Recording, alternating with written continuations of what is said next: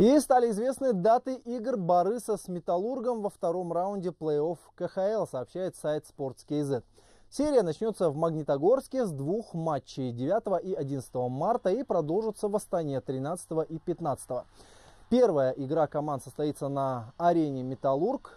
Напомню, ранее Борис обыграл Челябинский трактор со счетом 2-1 что позволило нашим хоккеистам во второй раз в истории КХЛ пробиться в полуфинал. «Металлург» же вышел в одну-вторую после победы над китайским Куньлунем.